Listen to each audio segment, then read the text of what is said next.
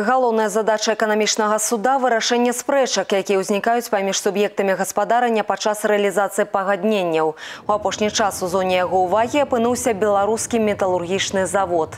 БМЗ адносіцца да буйнейшых прадпрыемстваў Беларусі. Разам з тым у апошні час ён сутыкнуўся з пэўнымі фінансавымі праблемамі, выкліканымі падзеннем дзелавой актыўнасці на сусветным рынку металапрадукцыі.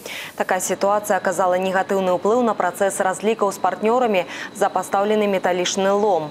Як вынік у суд звярнулася некалькі прадпрыемстваў, у першую чаргу расійскіх.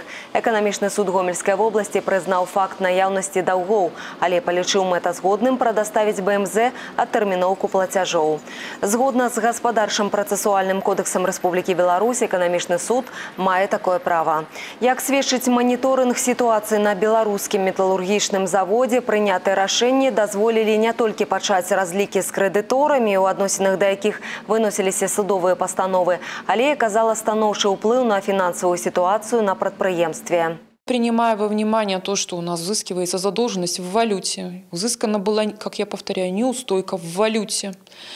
Вот.